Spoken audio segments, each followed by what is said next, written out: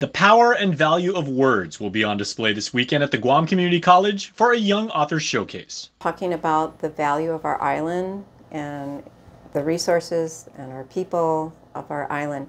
And it also gives them students an opportunity to write about something that they're more familiar with.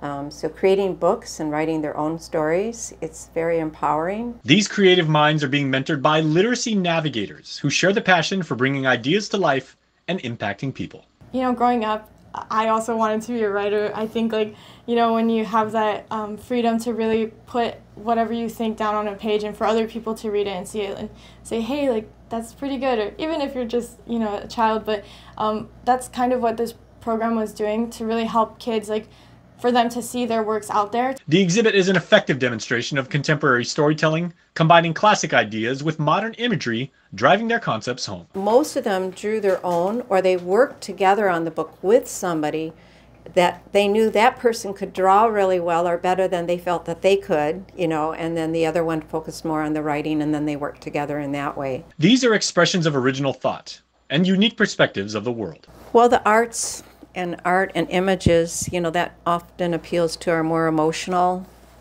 part of our brain. You know, so I mean, they're all, they're all going to be different. You see, some of these books are written entirely in Chamorro. One of the primary ways that we understand the world is through narrative. The Young Author Showcase is being held from 9 to 1 this Saturday at GCC's Mangilao campus in the multipurpose auditorium.